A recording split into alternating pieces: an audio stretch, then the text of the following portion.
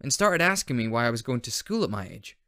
I answered with cheesy jokes like, Oh, I just forgot about school one day, and then was like, Oh, yeah, school. I should go there.